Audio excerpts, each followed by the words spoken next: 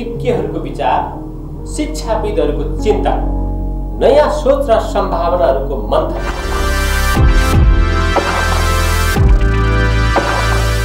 आदरणीय दर्शकबिन नमस्कार। कार्यक्रम शैक्षिक बसमा यहाँहरूलाई स्वागत छ। सधैँ आज पनि म बाबुराम शिक्षा क्षेत्रसँग सम्बन्धित विभिन्न विषयको बारेमा संवादका लागि उपस्थित भएको छु। र आज मेरो साथमा हुनुहुन्छ विगत लामो समयदेखि शैक्षिक क्षेत्रमा रहेर अनुभव प्राप्त गरिसक्नुभएका व्यक्तित्व तथा धरानमा अवस्थित डिपो सेकेन्डरी बोर्डिङ स्कुलका प्रिन्सिपल राजकुमार राई। आउनुहोस् उहाँलाई कार्यक्रममा स्वागत गरौँ। कार्यक्रममा यहाँलाई स्वागत छ। धन्यवाद सर मेरो पनि नमस्कार। यो अहिलेको अवस्था भनेको शैक्षिक सत्रको अन्त्यतिर र नयाँ शैक्षिक सत्रको पूर्व सन्ध्यामा छौँ आज होइन हामी? यस्तो अवस्थामा चाहिँ प्रिन्सिपल अथवा विद्यालय सञ्चालकहरूलाई साह्रै तनाव हुन्छ अरे। सर कतिको तनावमा हुनुहुन्छ? यो एक किसिमको स्वाभाविक पनि हो किन भन्दाखेरि नयाँ सेसनमा विद्यार्थीहरूलाई आफ्नो विद्यालयप्रति आकर्षण गर्नको लागि सबै विद्यालयले आफ्नो ढङ्गले प्रयास गरिरहेको सन्दर्भमा डिपो स्कुलले पनि यसमा केही कुराहरू अगाडि त ल्याउँदछ तर पनि हाम्रो स्कुल चाहिँ ज्यादै पुरानो ज्यादै स्थापित भएको हुनाले हामीलाई यो नयाँ भर्नाले अरू स्कुललाई जस्तो त्यस्तो ठुलो भनौँ न तनावमा पार्ने गरेको छैन। हामी आफ्नो काम र कर्ममा विश्वास गरेको हुनाले त्यति नयाँ एडमिसनले हामीलाई त्यति तातो चाहिँ लगाइहाल्दैन। त्यही त। यो चाहिँ कस्तो हुनुहुन्छ भने यो एक दुई महिनाको मूल्याङ्कन भन्दा पनि वर्षभरिको मूल्याङ्कनले चाहिँ त्यो विद्यालयमा भोलि विद्यार्थी बढ्ने नबढ्ने भन्ने कुरा हुने रहेछ होइन? त त्यसो हुनाले यहाँको विद्यालय एउटा लामो इतिहास बोकेको विद्यालय पनि हो। हजुर। विगतमा राम्रै खालको विद्यार्थीहरूलाई पास आउट गरेको उदाहरण पनि छ। त्यसो हुनाले नयाँ शैक्षिक सत्रमा हाम्रा विद्यार्थी अर्को विद्यालयमा कति जालान् अरू विद्यालयबाट कति आउलान् भन्ने खालको एक खालको विभिन्न विद्यालयलाई चिन्ता हुन्छ त्यो चिन्ता चाहिँ यहाँलाई छैन। त्यो चिन्ता हामीलाई त्यस्तो धेरै हुन्छ धेरै। पनि अब हामी अन्य विद्यालय जस्तो हामीलाई त्यस्तो समस्या हामीलाई हुँदैन। अब यो विद्यालयको आफ्नै इतिहास छ एकछिन चर्चा गरौँला एकछिन पछाडि। तर सर यो शैक्षिक क्षेत्रमा आबद्ध हुने क्षेत्रहरू त विभिन्न छन्। तर। सर यो शैक्षिक क्षेत्रमा चाहिँ कसरी आबद्ध हुनुभयो? के छ? कतै केही यसको भित्री रहस्य केही छ?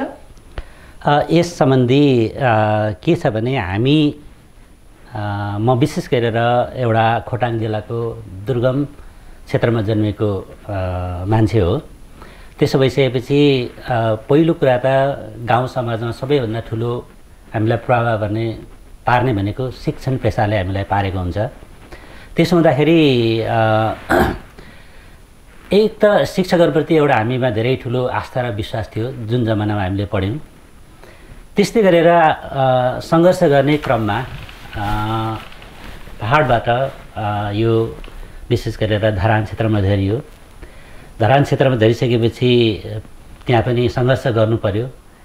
त्यस्तै गरेर काठमाडौँ गएर पढ्ने जुन योजना बन्यो त्यस पछाडि पनि त्यहाँ पनि हामीले के गर्नु पर्यो भन्दाखेरि पाहाडमा जन्मेको हुनाले आर्थिक रूपले हामीलाई निकै साह्रो अवस्था थियो। त्यसो हुँदाखेरि सङ्घर्ष गर्ने क्रममा जब मैले आइएससी पढ्दा पढिसक्नु बित्तिकै चाहिँ सबैभन्दा सजिलो बाँच्ने उपाय भनेको चाहिँ पढाउने नै हामीले भेटायौँ। शिक्षण पेसा नै हो शिक्षण पेसा नै त्यसले गर्दाखेरि शिक्षण तुरुन्तै लागिहाल्यो।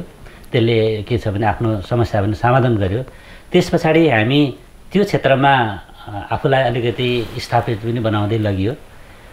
त्यसो हुँदाखेरि यता सरकारी जागिरबाट जाने इच्छा हुँदा हुँदै पनि बाध्यतावश हामी के छ भने यो सजिलो पेसा भएको र सजिलै यसमा साइन्स पढिसकेपछि सजिलै पाउने भएको हुनाले यसमा लाग्यो। त्यसो हुँदाखेरि एक किसिमले भन्नु पर्दाखेरि एउटा कुरा त गाउँमा शिक्षाको प्रभाव पनि हो।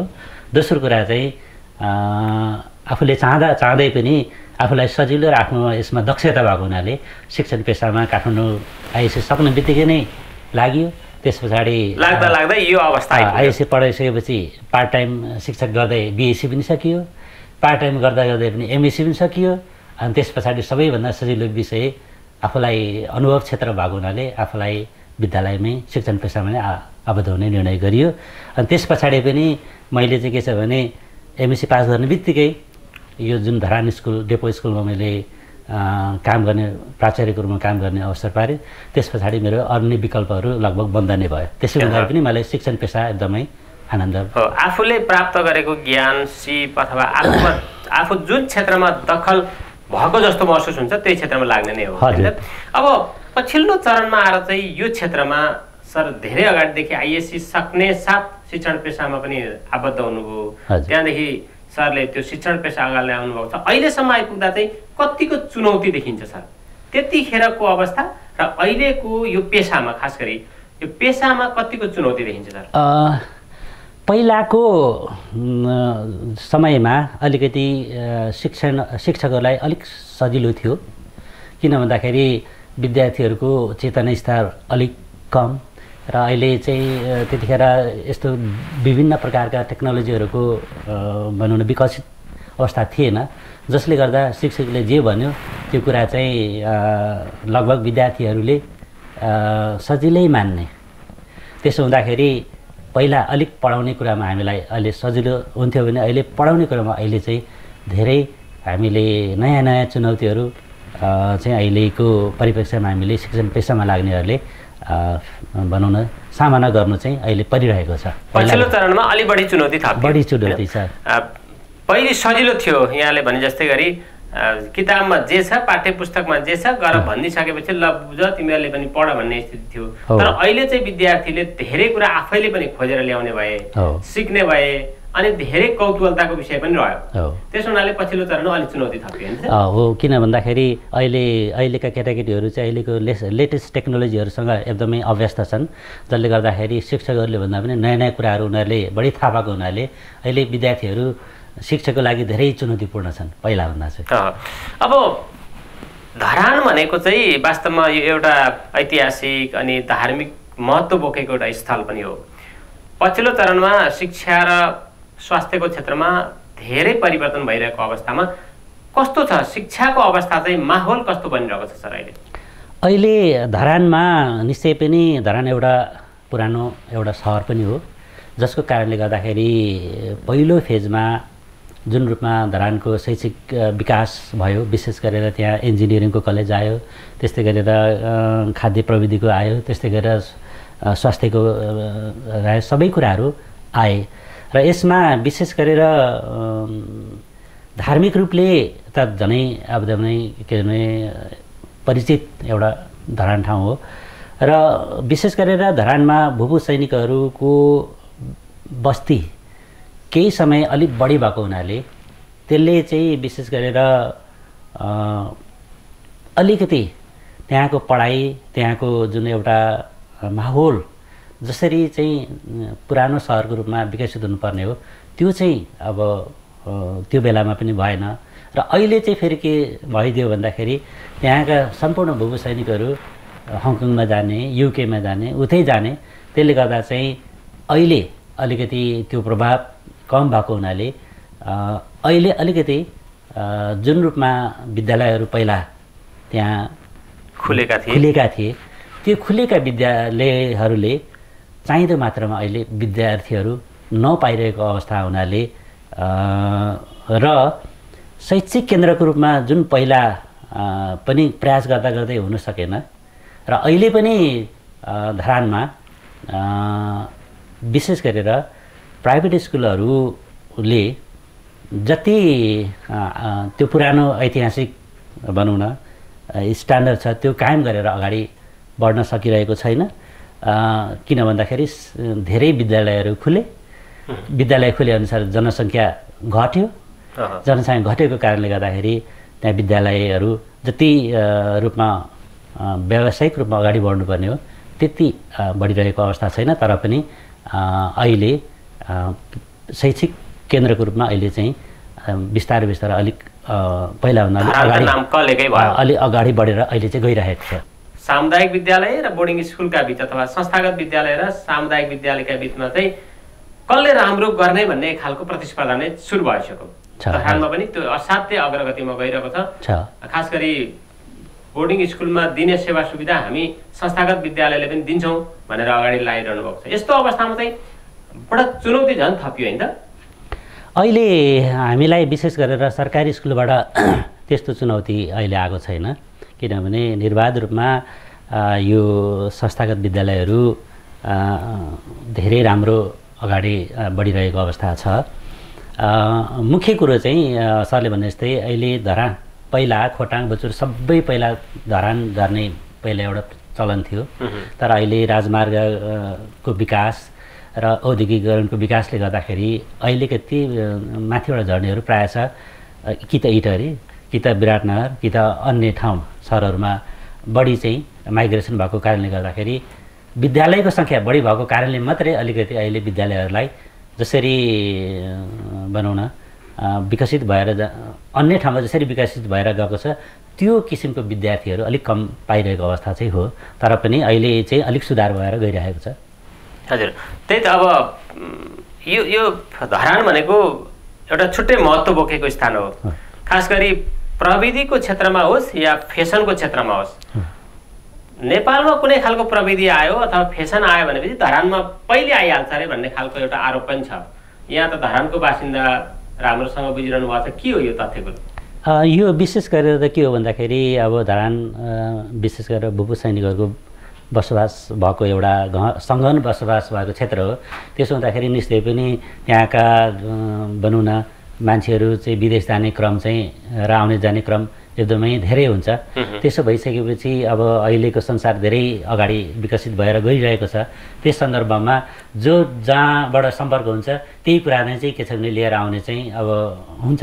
त्यसो हुँदाखेरि पनि के छ भने नयाँ नयाँ फेसन डिजाइन भयो त्यो धरानमै आउँछ। नयाँ नयाँ टेक्नोलोजी आयो त्यो पनि धरानमै आउँछ। किन भन्दाखेरि त्यहाँका मान्छेहरू चाहिँ बढी चाहिँ विदेश जान्छन्। विदेश गइसकेपछि फेरि त्यो आएको नयाँ त्यो फेसन अथवा टेक्नोलोजी आएको कुरालाई पनि फेरि लिन सक्ने किन्न सक्ने प्रयोग गर्न सक्ने क्षमता सामर्थ्य पनि त हुनु पर्यो आर्थिक रूपले। त्यो फेरि उहाँहरूसँग पर्याप्त छ भन्ने पनि छ।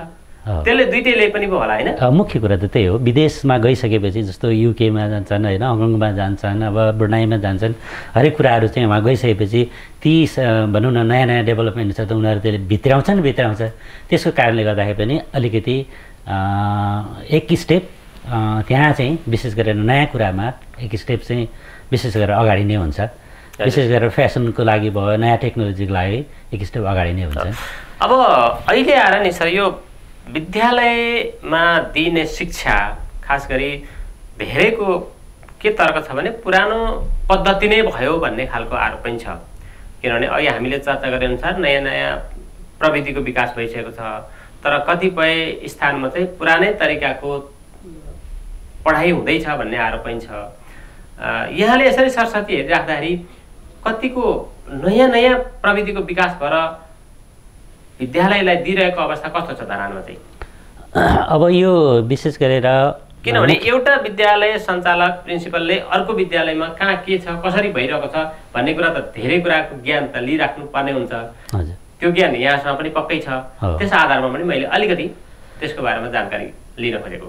अब अहिले हाम्रो जुन करिकुलम पाठ्यक्रमले जुन परिकल्पना गरेको छ हामीलाई दिएको छ हामीले पढाउने भनेको त्यसैलाई मध्यनजर गर्ने हो। अब त्यसमा विशेष गरेर प्रविधिहरूको प्रयोगको सम्बन्धमा मुख्य गरेर त अब हामीले प्रविधि प्रयोग गरेर पढाउने जुन अहिले विशेष गरेर ज जसले अलिकति यसमा बुझेका छन् उहाँहरूले त्यो प्रयोग गरिराख्नु भएको छ। र त्यसलाई के छ भने व्यापक रूपमा जसरी प्रविधिको प्रयोग गरेर गर्नुपर्ने त्यो अहिले भनौँ न सबै कुरा अहिले सम्भव भइसकेको छैन। तर पनि हामीले विशेष गरेर अहिले यो कम्प्युटर सम्बन्धीको भए अनि आइटी सम्बन्धी भनौँ विशेष गरेर र अहिलेका टेक्नोलोजी विशेष गरेर स्मार्ट क्लासहरू भए प्रोजेक्टरहरू माध्यमबाट पढाउने कुराहरू हामीले त्यो कुरालाई एउटा भनौँ न व्यापक रूपमा नभए पनि सिम्बोलिक रूपमा हामीले प्रयोग गरेर हामीले हाम्रो विद्यालयहरूमा हामीले त्यसलाई लागू गरिरहेको छौँ। त्यसलाई भनौँ न त्यसलाई इन्ट्रोड्युस गरिरहेका छौँ। त्यसले गर्दाखेरि हाम्रो भनौँ न पढाइको जुन स्तर छ त्यो चाहिँ अन्यभन्दा अलिकति अगाडि नै हुन्छ। हजुर। अब विद्यालयको बारेमा अलिकति चर्चा गरौँ। डिपो सेकेन्डरी बोर्डिङ स्कुल धेरै अगाडि स्थापना भएको दुई हजार उन्नाइस सालमा होइन? दुई हजार उन्नाइस सालमा स्थापना भएको। अहिले दुई हजार पचहत्तर आइपुग्दाखेरि झन्डै आधा- वर्ष। हो आधा शताब्दी पार गरिसकेको विद्यालय। यो आफैमा एउटा गौरवको कुरा भयो। यो डिपो स्कुल चाहिँ कसरी रह्यो? यसको बारेमा अलिकति बताइदिनुहोस् न। विशेष गरेर यो नेपालबाट विशेष गरेर यो ब्रिटिस लाउरीहरू जा लागेर उहाँ बाहिर गएर काम गर्छन्। अब त्यो गर्दाखेरि नेपालमा विशेष गरेर यो लाउरे भर्ना गर्ने क्रममा सबैभन्दा उपयुक्त ठाउँ ब्रिटिसहरूले धरानलाई मह्म। त्यसले गर्दाखेरि नेपाल अधिराज्यबाट भनौँ न ब्रिटिस लाहौरमा सेलेक्सन भएर जाने केन्द्रको रूपमा चाहिँ धरान उनीहरूले स्थापना गरे। त्यसो गर्दाखेरि ब्रिटिस क्याम्पले ब्रिटिस गोर्खा डेपो क्याम्पले त्यहाँ विशेष गरेर रिक्रुटिङ गर्ने भइसकेपछि केही कुराहरू त्यहाँनिर उनीहरूले भण्डारण गर्नु पऱ्यो जस्तो केही हतियारहरू पनि होइन ट्रेनिङको लागि। केही बन्दोबस्तीको सामानहरू पनि उनीहरूले आर्मी ब्रिटिस आर्मी यहाँ बसिसकेपछि त केही बन्दोबस्तीको सामान गर्नु पऱ्यो त्यसो हुँदाखेरि त्यसलाई के भने एउटा डेपोको रूपमा उनीहरूले त्यसलाई बुझे। अब डेपो भइसकेपछि त्यसैलाई मध्यनजर गरेर तत्कालीन अवस्थामा ब्रिटिस गोर्खा सेनामा काम गर्ने सम्पूर्ण ब्रिटिस गोर्खाली दाजुभाइहरूको एक दिनको तलबले त्यहाँ चाहिँ विद्यालय स्थापना भयो। र विद्यालयको नाम चाहिँ के राखियो भन्दा डेपो माध्यमिक विद्यालय राखियो। नेपालीमा र इङ्ग्लिसमा डेपो सेकेन्डरी इङ्ग्लिस भनेर राखियो। यसको अर्थ के छ भने सिम्बोलिक रूपमा त्यहाँ ब्रिटिस लाउरेहरू भर्ती गर्ने केन्द्र थियो। त्यसको नाम के हो? त्यो एउटा डेपो हो। त्यसो हुँदाखेरि त्यसैलाई भनौँ न अर्थ हुने गरेर यसको नाम चाहिँ डिपो माध्यमिक विद्यालय राखिएको। राखिएको है। त्यही त एकदम दुई हजार उन्नाइस सालमा स्थापना भयो। हुँदै हुँदै अहिले दुई हजार पचहत्तर सालमा आइपुग्यो। यो बिचमा धेरै उतार चढाव पनि भयो। त्यो राजनैतिक उतार चढाव पनि भयो अनि फेरि शैक्षिक क्षेत्रमा उतार चढाव पनि भयो। दुई हजार अठाइस सालमा नयाँ शिक्षा नीति नियमका कुराहरू पनि आए। त्यसले के असर पर्यो? निश्चय पनि जब चाहिँ ब्रिटिस गोर्खा डेपो क्याम्पले विद्यालय सञ्चालन गर्यो त्यो बेलामा नेपालमा एउटा बुढानीलकण्ठ स्कुल अलिक राम्रो थियो। त्यही हैसियतमा त्यो विद्यालयको पनि सबै भौतिक पूर्वाधारहरू राम्रो भएको हुनाले धेरै राम्रो नेपाल अधिराज्यमा धेरै राम्रो विद्यालय डिपो माध्यमिक विद्यालय भयो। भयो। तर अठाइस सालमा जब चाहिँ तपाईँले भनेअनुसार शिक्षा नीति परिवर्तन भएर नयाँ शिक्षा लागू भयो त्यस पश्चात चाहिँ विद्यालय सरकारीकरण भयो। सरकारीकरण भइसकेपछि अब हाम्रो नेपालको सिस्टम सबैलाई थाहा छ। त्यसले गर्दा विद्यालयको शैक्षिक स्तर चाहिँ दिनानुदिन घट्दै घट्दै गयो। र त्यति भइसकेपछि विद्यालयको अवस्था अलिकति नाजुकै अवस्था पुगिसकेपछि फेरि नेपाल सरकारले फेरि शिक्षा नीतिमा परिवर्तन गरेर प्राइभेट स्कुलहरूलाई पनि सञ्चालन गर्ने नीति चाहिँ छत्तिस सडतिस सालदेखि उसले फेरि अनुमति दियो। तत्पश्चात फेरि ब्रिटिस गोर्खा डेपो क्याम्पले नै विद्यालय आफ्नो मातहतमा लिएर सञ्चालन गर्यो। त्यसरी त्यस पश्चात यो विद्यालय अलिकति विकास फेरि पनि भयो तर जुन पहिलाको जुन एउटा ग्लोरी थियो जुन ग्लोरी थियो। त्यो उसले कायम गर्न सकेन किनभने भत्केको बिग्रेकोलाई बनाउनलाई चाहिँ अलिक लामो समय लाग्दो रहेछ त्यसै सन् सन्दर्भमा जब छ्यालिस सत्तालिस सालतिर अलिकति शैक्षिक आन्दोलनहरू पनि भए विद्यार्थी आन्दोलन भए त्यसले गर्दा विद्यालयको विकासमा झनै एउटा प्रतिकूल अवस्था ल्यायो र त्यसै अवस्थामा त्यो ब्रिटिस गोर्खा डेपो क्याम्प जुन भर्ती केन्द्र थियो त्यो चाहिँ फेरि के भयो त भने धरानबाट चाहिँ पोखरामा सारियो। त्यस पश्चात चाहिँ विद्यालयलाई धेरै ठुलो आर्थिक सङ्कट र विद्यालय रहन सक्ने नसक्ने सञ्चालन हुन नसक्ने एउटा चुनौतीपूर्ण अवस्थामा चाहिँ आयो। तर त्यहाँका विशेष गरेर ब्रिटिस गोर्खा भूपू सैनिकहरू जसले चाहिँ अ, यो स्कुलको स्थापनाको लागि र विकासको लागि आफ्नो कार्यकाल जीवनभरि उहाँहरूले हरेक वर्षको एक दिनको तलब चाहिँ त्यो विद्यालय दिएको हुनाले प्रत्येक वर्षमा एक एक दिन दिनको तलब। त्यसरी भूपू सैनिकहरू त्यसले गर्दाखेरि उहाँहरूले चाहिँ यो चाहिँ हाम्रो इतिहास हो। यो विद्यालय एउटा शैक्षिक संस्था हो यसलाई हामीले जसरी पनि बचाएर। लानुपर्छ र राम्रो गर्नुपर्छ भन्ने अठोटका साथ ब्रिटिस गोर्खा भूपू सैनिकहरू लाग्नुभयो जसले गर्दा चाहिँ अहिले विद्यालय जुन पहिलाको एउटा अ, गौरवपूर्ण इतिहास थियो। त्यो इतिहास चाहिँ अहिले कायम गरेर अहिले विद्यालय प्लस टू हुँदै अहिले क्याम्पस लेभलको सम्मको क्लासहरू चाहिँ अहिले टिपु माध्यमिक विद्यालयलाई अपग्रेड गरेर हामीले अहिले सञ्चालन गरिरहेका छौँ। सञ्चालन गरिरहनु छ। भौतिक क्षेत्रफल पनि त धेरै ठुलो छ है। निश्चय पनि हाम्रो यो धेरै पुरानो स्कुल भएको हुनाले धरान जस्तो क्षेत्रमा एउटा सहरी क्षेत्रमा विद्यालयले चाहिँ तेह्र बिघा दस कट्टा छदुर जमिन विद्यालयले अ, ओगटेको छ। जसले गर्दाखेरि भौतिक पूर्वाधारहरू पहिल्यै बनिसकेका छन् र पहिले बनेको भौतिक पूर्वाधारले नपुगेर अहिले हामीले विद्यालयको धेरै क्षेत्रमा भौतिक पूर्वाधारहरू थपहरू गरेका छौँ जसले गर्दा अहिले चाहिँ जस्तो पहिलाको गौरवपूर्ण एउटा इतिहास त्यो विरासत थियो त्यो ला अझ हामीले अगाडि बढाएर चाहिँ विशेष गरेर ब्रिटिस गोर्खापको सैनिकहरू लाग्नु भएको हुनाले धेरै अगाडि बढिरहेको छ। त्यही त झन्डै साढे तेह्र बिघा। होइन? साढे तेह्र बिघा क्षेत्रफलमा फैलिएको। यो स्कुल भौतिक हिसाबले त साह्रै धनी छ।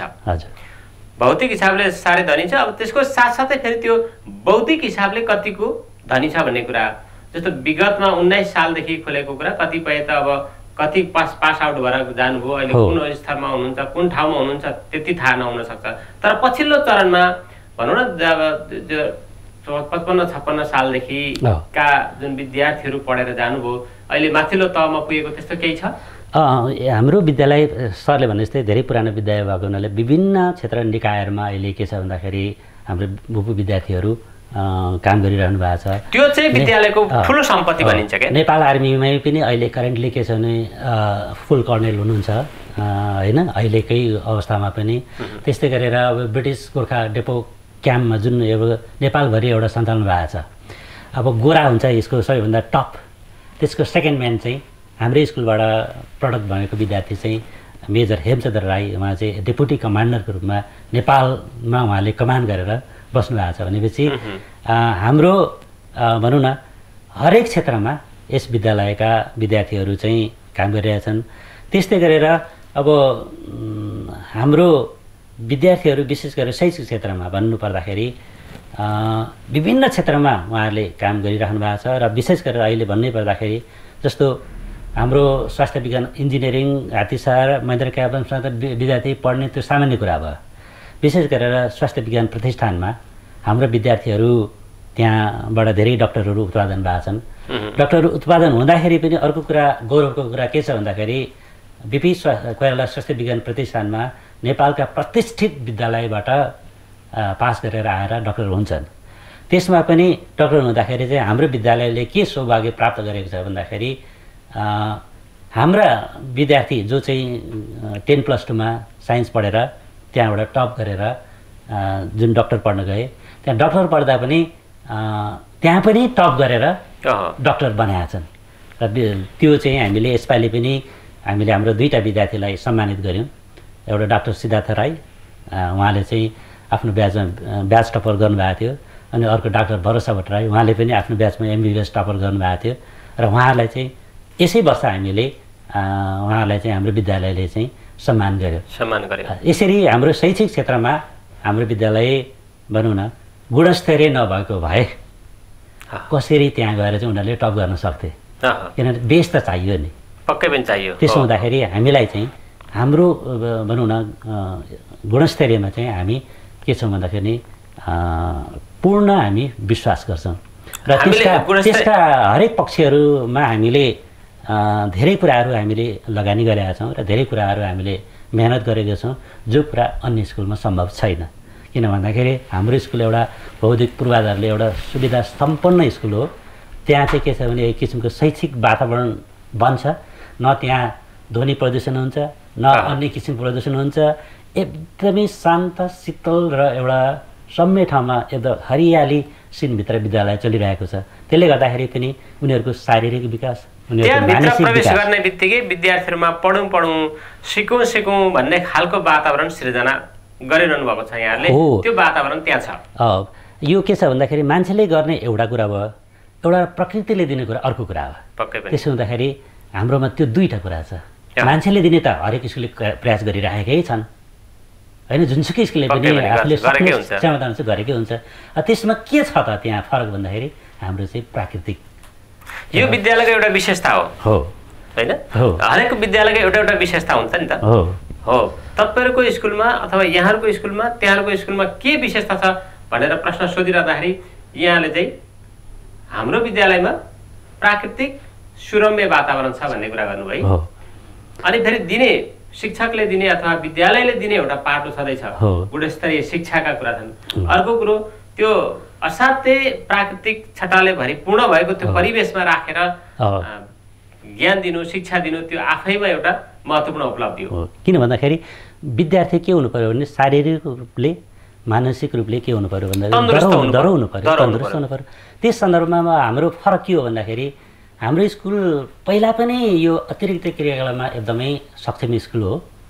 जतिखेर ब्रिटिसहरूले सञ्चालन गरिरहेका थिए त्यसैको लेगेसी हाम्रो विद्यालयमा अहिले पनि छ।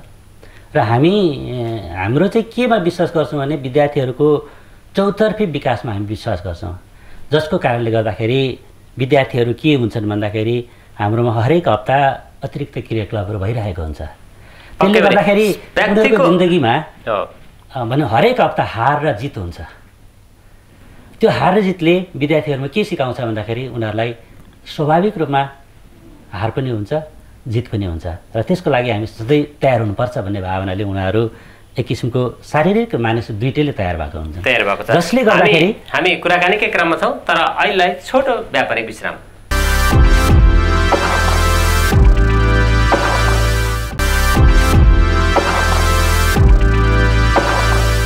यो छोटो विश्रामपछि पुनः स्वागत छ कार्यक्रम शैक्षिक बहसमा फेरि हामी कुराकानी गर्दैछौँ। डेपो सेकेन्डरी बोर्डिङ स्कुल चाहिँ अहिले पछिल्लो चरणमा सरकारले लागू गर्न खोजेको हरेक विद्यालयलाई सात वर्ष दस वर्ष पछि पहिले सात वर्षको कुरा थियो अहिले दस वर्षको कुरा थियो गैर नाफामूलक बनाउने भन्ने खालको चर्चा परिचर्चा पनि चलिरहेको छ। यहाँहरूको विद्यालय चाहिँ अगाडि नै शैक्षिक सार्वजनिक शैक्षिक अन्तर्गत दर्ता भएर सञ्चालन भएको विद्यालय? सञ्चालन भएको छ है। भनेपछि अब त्यहाँनिर एउटा राम्रो कुरा पनि रह्यो। किनभने जति बढी मेहनत गर्न सकिन्छ मेहनत गर्ने हो विद्यार्थीलाई शिक्षा दिने हो विद्यार्थी ल्याउने हो अनि बढीभन्दा बढी सेवा सुविधा पनि आफैले लिने हो होइन? त्यो एउटा पाटोबाट सजिलो होला। अर्को पाटोबाट चाहिँ फेरि लगानी गर्ने कुरा चाहिँ अलिकति चुनौती पनि हुन होला नि त होइन?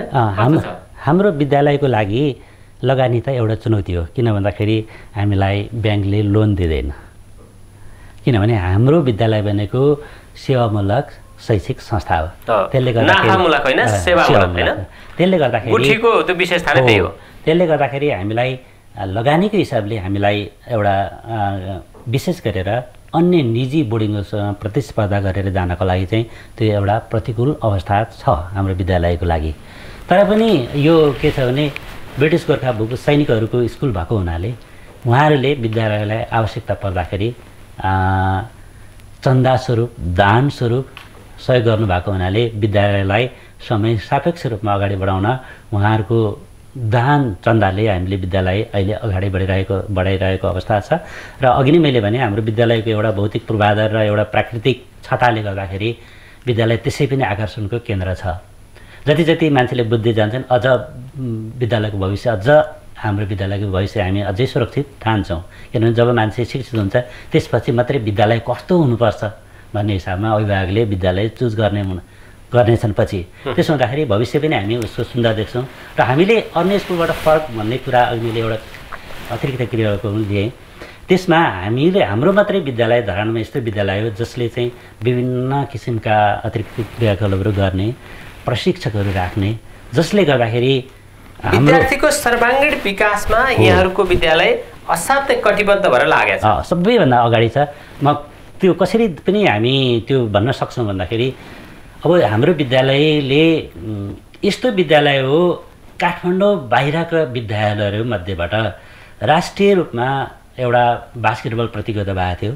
त्यो बास्केटबल प्रतियोगितामा हामीले माध्यमिक स्तरीय बास्केटबल प्रतियोगितामा धरानको डेपो हाई स्कुलले चाहिँ प्रथम स्थान हासिल गर्यो। जबकि काठमाडौँमा गोल्डन गेट स्कुल भए सेन्ट जेभियर स्कुलहरू भए हरेक हरेक स्कुल छ बास्केटबलमा एकदमै बनाउन काठमाडौँ भनेको बास्केटबलको एउटा केन्द्र हो। एउटा पक्कै त्यो। ठाउँमा गएर हाम्रो स्कुलले त्यहाँका काठमाडौँको जम्मै स्कुललाई जितेर प्रथम स्थान गर्नु भनेको त्यो चान्चुने कुरा होइन। विद्यालयले ठुलो लगानी गराएको थियो त्यसको हामीले प्रतिफल पायौँ जसलाई चाहिँ कान्तिपुर टेलिभिजनले लाइभ टेलिकास्ट गरेर हामी राष्ट्रिय च्याम्पियन बनाएका थियौँ। त्यसो हुँदाखेरि त्यो एउटा एउटा हाम्रो गौरवपूर्ण उपलब्धि हो।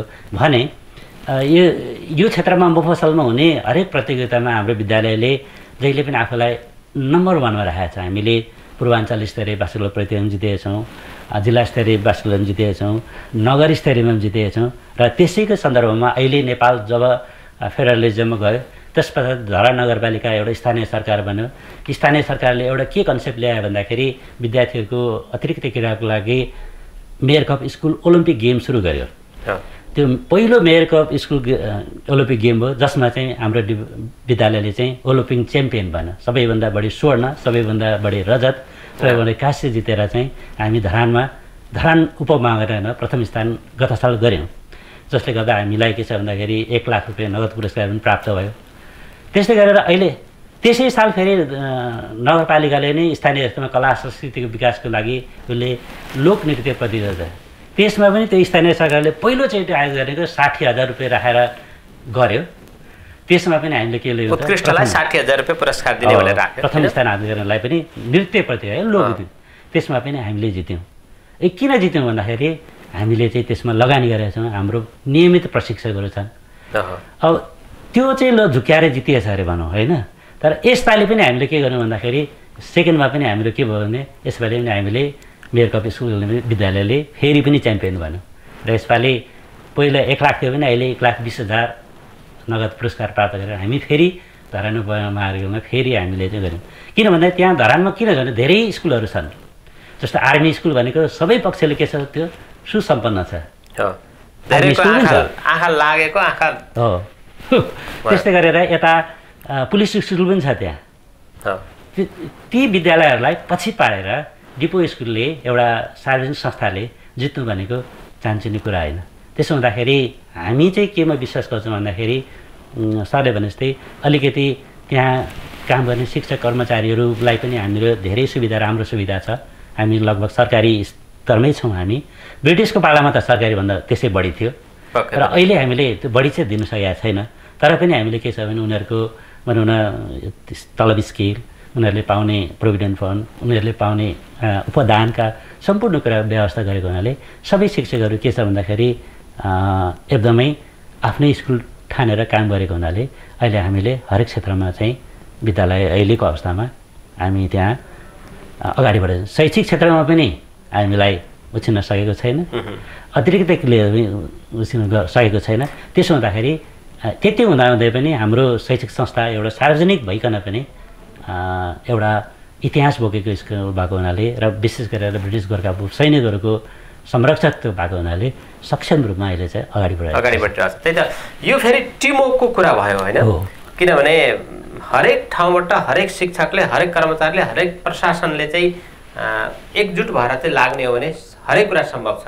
यहाँले अघि भने जस्तै गरेर सेवा सुविधा एउटा पाटो भयो। व्यवहार अर्को पाटो भयो। होइन। किनभने विद्यालय प्रशासन अथवा विद्यालय प्रशासन यहाँ भनेको चाहिँ प्रिन्सिपलै भन्ने बुझ्नुपर्ने अवस्था हुन्छ प्रिन्सिपलको व्यवहार अथवा भाइस प्रिन्सिपलको व्यवहार शिक्षकहरूप्रति कर्मचारीहरूप्रति गर्ने व्यवहार एउटा पाटो र सेवा सुविधा अर्को पाटो कहिलेकाहीँ सेवा सुविधा कम भए पनि व्यवहार राम्रो भयो भने उहाँहरू असाध्यै खुसीका साथ लागेर काम गर्नुहुन्छ। भनेपछि यहाँहरूको दुइटै पाटोबाट यहाँहरू अगाडि बढिरहनु भएको छ। त्यसले गर्दा पनि हामी के भन्छौँ भने योभन्दा अगाडि प्र्याक्टिस मेक्स मेन पर्फेक्ट भन्ने गरिन्थ्यो। तर अब चाहिँ perfect practice makes men perfect हुन थाल्यो अरे कि? अब। यहाँले भने जस्तै गरेर दुई चार दिन दुई चार महिना प्र्याक्टिस गरेको भरमा जित्न सक्ने सम्भावना कम हुन्छ। तर निरन्तर रूपमा प्र्याक्टिस गरिरह्यो भने चाहिँ। त्यो जित सुनिश्चित हुने बढी सम्भावना हुन्छ। त्यसैले यहाँले वर्षैभरि चाहिँ त्यस्ता अतिरिक्त क्रियाकलापहरू गरिरहनु भएको छ देखाइरहनु भएको छ एउटा जित्नको लागि भन्दा नि विद्यार्थीको सर्वाङ्गीण विकासको। लागि। यहाँहरू लागिरहनु भएको छ त्यो त अभिभावकले हेरिरहनु भएको छ। मेरो विद्यार्थी मेरा छोराछोरी मेरा सन्तति चाहिँ यो विद्यालयमा भर्ना गरियो भनेदेखि यस्तो खालको उसमा विकास हुनसक्छ भन्ने सोचेर नै अहिले यहाँको विद्यालय झन् बाह्र सय विद्यार्थी छन्। बाह्र सयभन्दा अझै बढी छन्। अझै बढी तेह्र सय। जस्तो बाह्र तेह्र सयको हाराहारीमा हुनु भनेको चाहने हो। कुरो होइन। किनभने अघि नै हामीले सुरुवातमै हामीले अब जनघनत्वको हिसाबले अलिक कम हुँदै हुँदै गएको विद्यालय सङ्ख्या बढ्दै गएको अवस्थामा पनि विद्यालयमा चाहिँ विद्यार्थी सङ्ख्या नघटेको। हजुर। अवस्था छ। त्यो हुनु भनेको चाहिँ फेरि अभिभावकहरूको विश्वासका कुरा भए। हजुर। यहाँहरूले दिनुभएको गुणस्तरीय शिक्षाका कुरा भए होइन? यी सबै कुरालाई मूल्याङ्कन गर्ने भने डेपो सेकेन्डरी बोर्डिङ स्कुल यो शैक्षिक गुठी भए तापनि हजुर। पूर्ण रूपले लागि परेको छ। लागिपरेको छ। विशेष गरेर त्यहाँ गर्ने शिक्षक कर्मचारीहरूमा पनि के किसिमको भावना छ भन्दाखेरि विद्यालयले हामीलाई यथेष्ट सेवा सुविधा दिएको छ। र विद्या त्यहाँ काम गर्ने शिक्षक कर्मचारीहरू पनि के ठान्छन् भने यो चाहिँ हाम्रो स्कुल हो। यो हाम्रो स्कुल हामी हो कसैको अ, भनौँ न मालिकको स्कुलमा हामी काम गरिरहेका छैनौँ। उहाँहरूमा काम गर्ने एउटा स्वाभिमान छ। त्यसो हुँदाखेरि हाम्रो स्कुलबाट विद्यालय छोडेर जाने शिक्षक भन्ने कुरै आउँदैन। हाम्रो स्कुलबाट विद्यालय छोडेर जाने भनेको चाहिँ कि त अब सिङ्गापुर पुलिसमा हो त बाहिर टिचरकै रूपमा जान्छन्।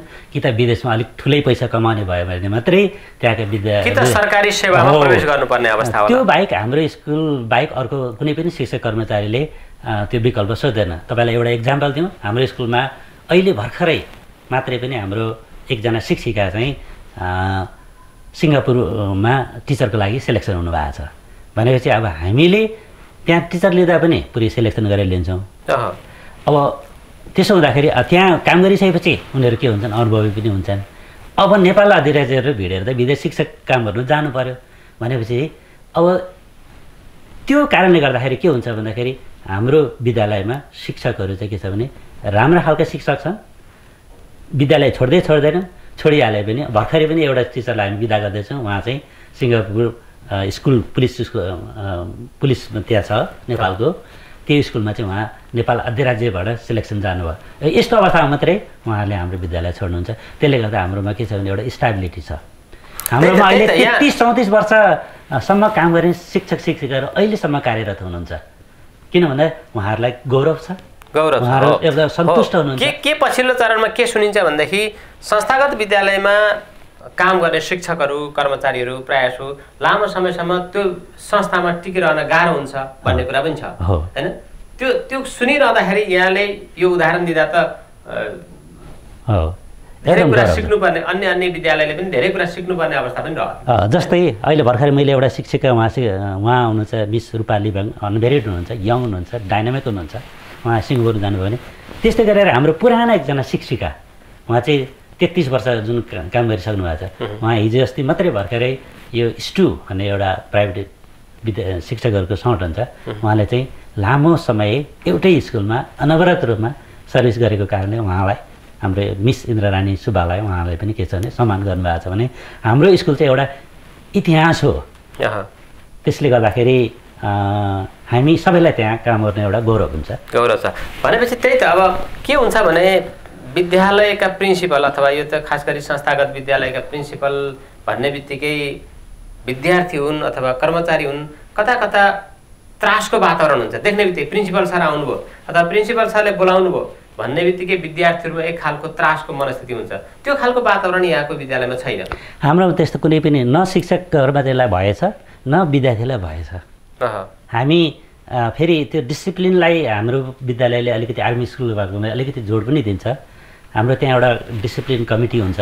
त्यसले चाहिँ विद्यार्थीलाई त्यसको समस्याको आधारमा कुन उपाय उप अवलम्बन गर्दा त्यो विद्यार्थीलाई के छ भने राम्रो बाटोमा ल्याउन सकिन्छ। भनेर। हाम्रो एउटै दिमाग त्यहाँ चलाउँदैनौँ हाम्रो टिमको दिमाग चलाउँछ। जसले गर्दाखेरि विद्या विद्यार्थीले गल्ती गरे अनुसार सजाय त पाउनुपर्छ सजाय पाएपछि विद्यार्थीले के गर्नु पऱ्यो त्यो महसुस गर्नु पऱ्यो।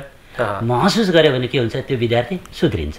फेरि अर्कोपल्ट दोहोऱ्याउने सम्भावना रहँदैन त्यसो हुँदाखेरि हामीले एउटा दिमाग त्यहाँ चलाउँदैन हाम्रो टिम दिमाग चलाउँछौँ जसले गर्दाखेरि विद्यार्थीले गल्ती गरेको उसले महसुस गर्छ विद्यार्थीले अन्याय परेको महसुस गर्दैन।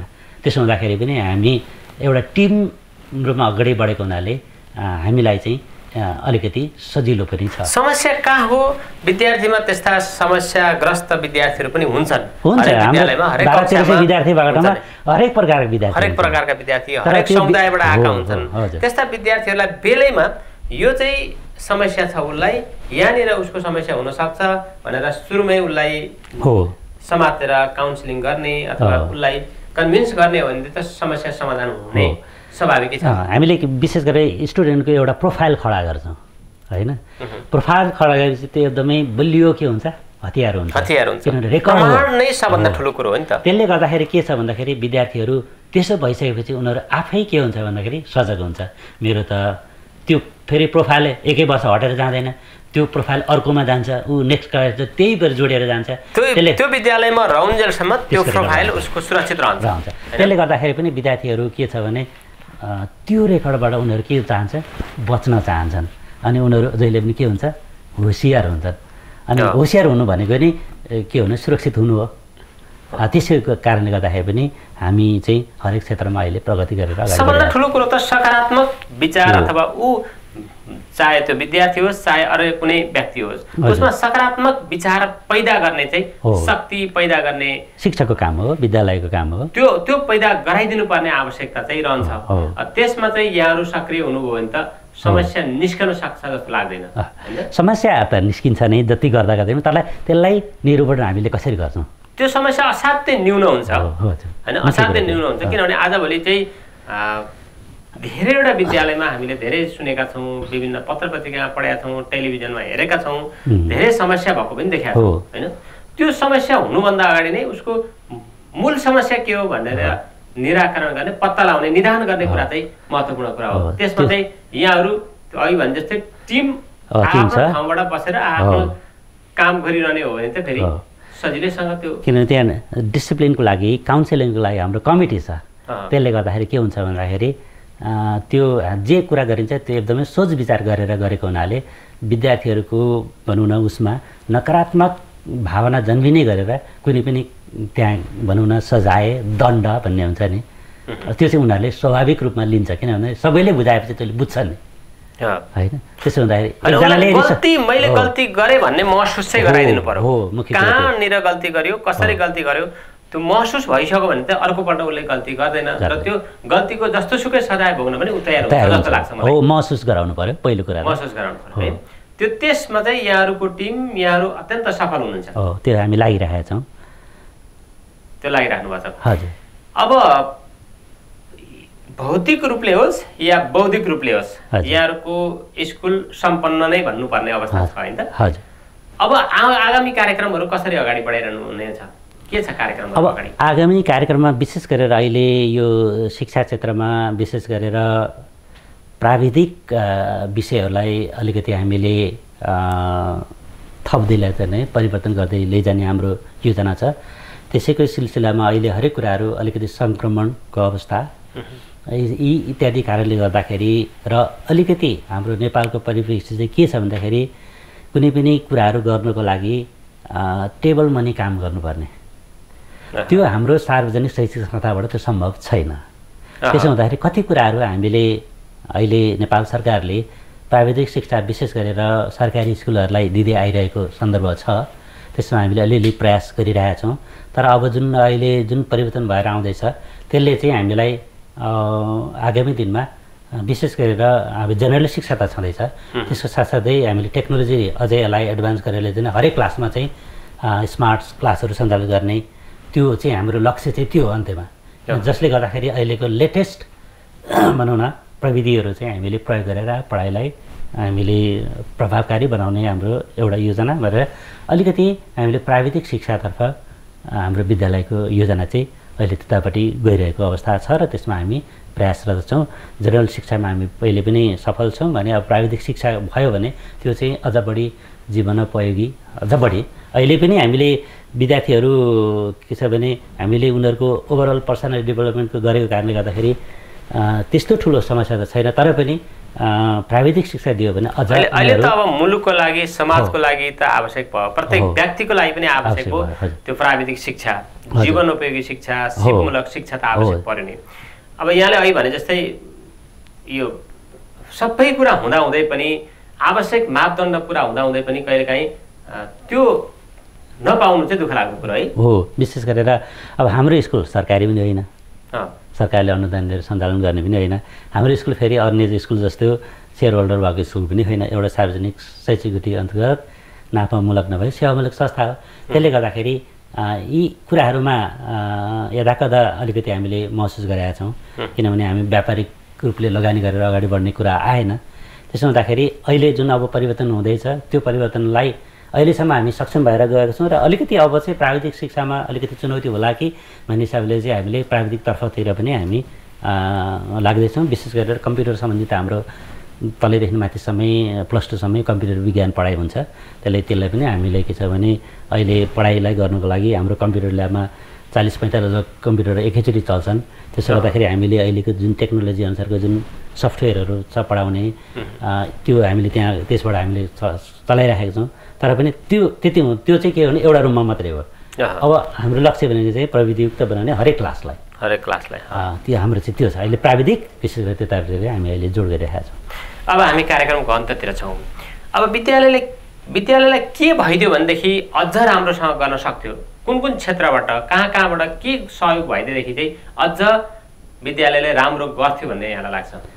अहिलेको सन्दर्भमा अहिले मैले सरलाई अलिकति राखिहालेँ। विशेष गरेर अब निश्चय पनि विद्यालयको प्रकृति अनुसार यसलाई चाहिँ स्थानीय सरकार भनौँ होइन?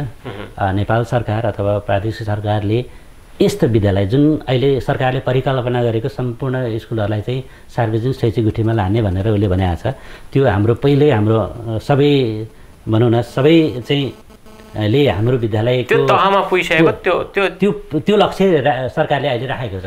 भनेपछि अब यस्ता स्कुलहरूलाई चाहिँ प्रमोट गर्न यसको लागि सरकारी तौरबाट पनि। किनभने यसले विद्यालयको योगदानलाई कदर गर्दै सरकारी लेभलबाट पनि विद्यालयको लागि सरकारी सहयोग। थोरै सहयोग मात्रै भयो भने पनि धेरै उपलब्धि धेरै। किनभने त्यो त्यो चाहिँ उपलब्धि के को लागि हुन्छ भने अन्य कुरा त हामी सकिहाल्छौँ। मुख्य कुरा चाहिँ जस्तो भनौँ न अब प्राविधिक शिक्षा गर्नु पऱ्यो भने त्यही अनुसारको हामीलाई के चाहियो भन्दाखेरि बिल्डिङ चाहियो होइन?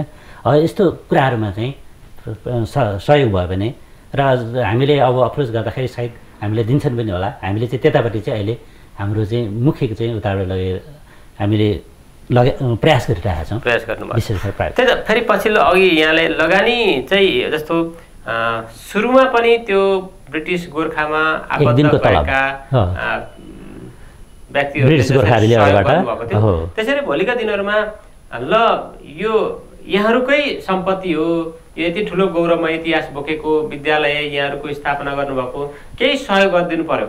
यहाँले भने जस्तो एकै दिनको मात्रै सेवा सुविधा दिने हो भने त फेरि ठुलो सङ्ख्यामा ठुलो रकम उपलब्ध पनि हुनसक्छ है। त्यो विद्यालयको एउटा त्यो सम्भावना छ। तर अहिले के परिवेश के भइदियो भन्दाखेरि इन केस जुन चाहिँ अहिले अहिले नेपालबाट सम्पूर्ण नेपालीहरू अब विशेष ब्रिटिस गोर्खामा जुन काम गर्ने छ सम्पूर्ण परिवार नै अहिले के गयो त कि त हङकङ छन् कि त युके छन्।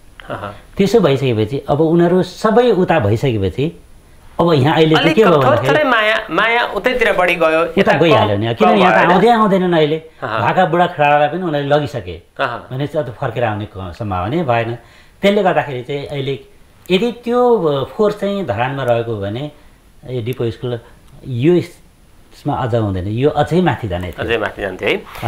तैपनि यहाँहरूको जुन लगान छ जुन प्रतिबद्धता छ भोलिका दिनहरूमा यसले झनै राम्रो गर्छ भन्ने हामीलाई लागिरहेछ। छ किनभने हामीलाई हाम्रो तर्फबाट पुनः यहाँलाई शुभकामना। किनभने अब केही वर्षभित्रमा नै यहाँहरूले हिरक जन्म जयन्ती।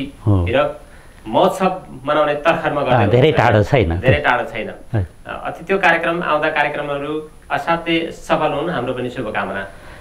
धन्यवाद सरलाई पनि। विशेष गरेर डिपो माध्यमिक विद्यालयलाई आफ्नो अनुभवहरू तपाईँहरूको जस्तो एउटा लोकप्रिय टिभी च्यानलबाट हाम्रो अनुभवहरू हाम्रा आदरणीय दर्शक महानुभावको बिचमा जुन राख्ने अवसर दिनुभयो त्यसको लागि बाबुराम सर लगायत प्राविधिक मित्र र एरिना परिवारलाई विशेष धन्यवाद विद्यालयको तर्फबाट यहाँहरूलाई टक्राउन चाहन्छु।